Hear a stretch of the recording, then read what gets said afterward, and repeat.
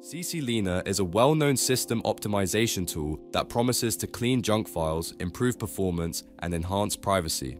While it does help free up disk space by removing temporary files and cache, its impact on actual system speed is often negligible. Over the years, concerns about data collection and security vulnerabilities have affected its reputation, making some users skeptical about its reliability. Although it offers a user-friendly interface and automation features, modern operating systems have built-in tools that perform similar tasks without additional software. For casual users, it can be convenient, but for advanced users, it may seem redundant or even unnecessary.